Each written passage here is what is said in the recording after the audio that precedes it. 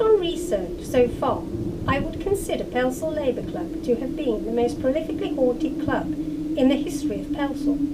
Even a psychic medium refused to enter the main room once, saying that too many spirits were trying to get through to her.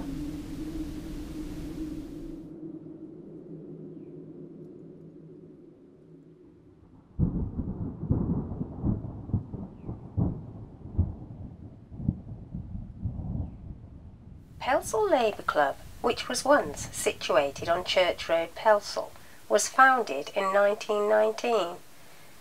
The original part of the building, which was a house, can be seen in the photograph. It is believed that the house was bought by a group of miners who clubbed together to purchase a house to turn it into a miners' pub for miners only. Due to its popularity, in later years Pelsall Labour Club was significantly extended and was host to both its regulars and numerous clubs which were based there. Despite the age of the old part of Pelsall Labour Club, most paranormal activity experienced there occurred in the modern parts of the building. Most members of staff had experienced paranormal activity at some time or another at Pelsall Labour Club, as it occurred so frequently.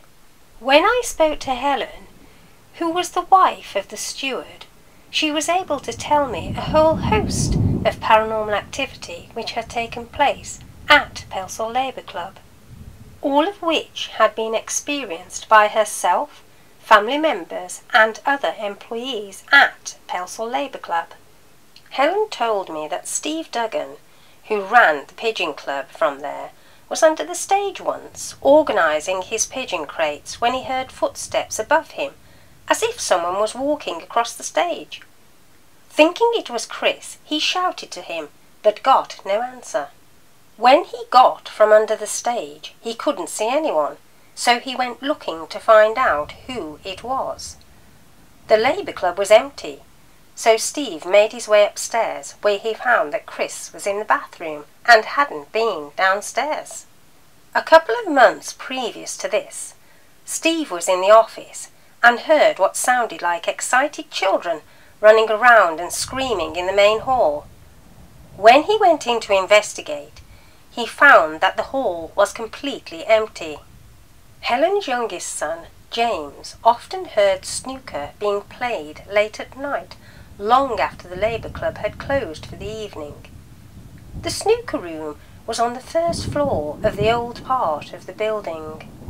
On one occasion, when Helen's future daughter-in-law, Haley, got to the top of the stairs in the old part of the building, as she looked into the snooker room, which is at the end of the corridor, she was shocked to see a man wearing a flat cap just standing there.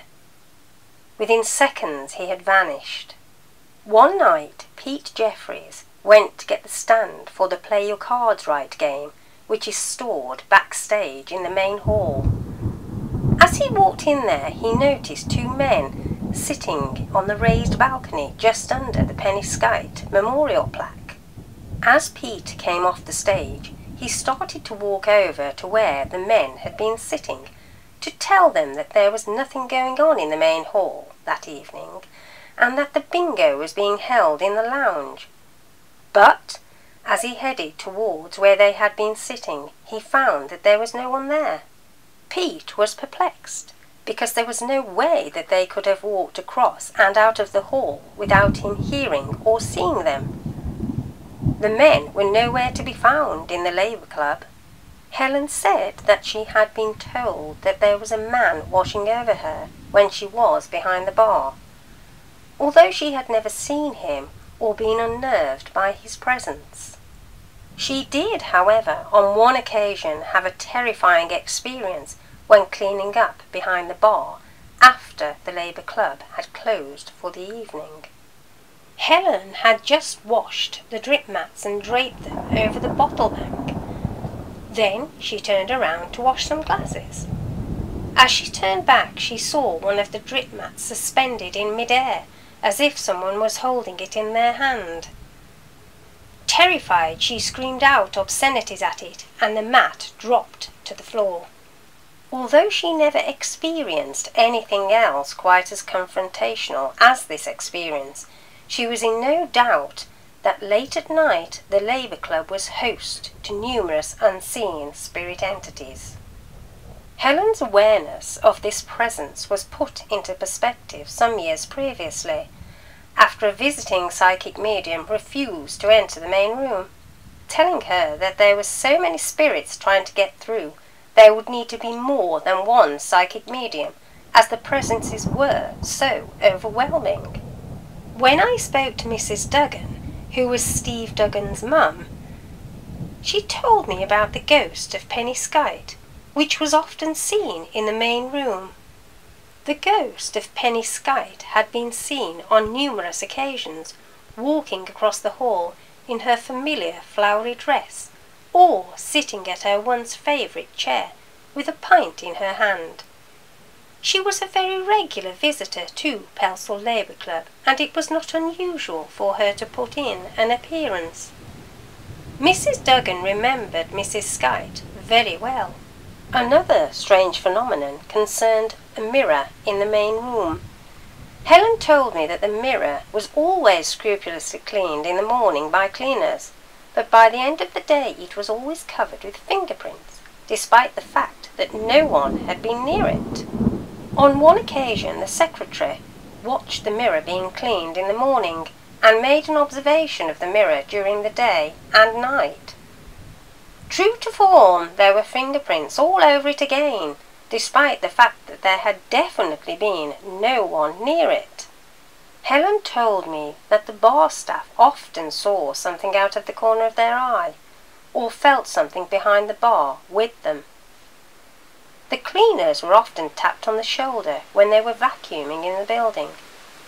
But there was never anything malicious. Helen told me that the children's room was very active and that many noises and voices were heard coming from that room when the club was empty. It was thought that the curious founder members of Pelsall Labour Club returned from the other side on the odd occasion to see how their investment had developed over the years. This immediate area has quite a profound history. As in the Victorian era, this area was densely populated by numerous families and their lodgers. Slate Row once existed to the right of Pelsall Labour Club.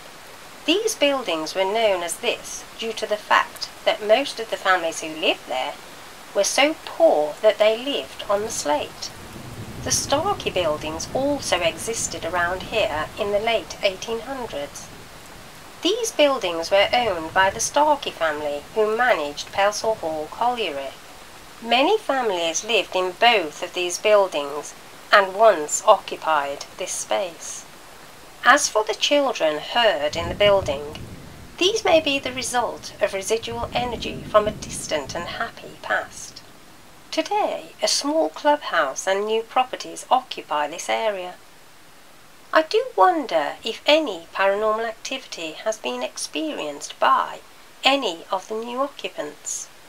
If you ever had a paranormal experience at Pelsall Labour Club and you would like to share your experience, please get in touch. I will be delighted to hear from you.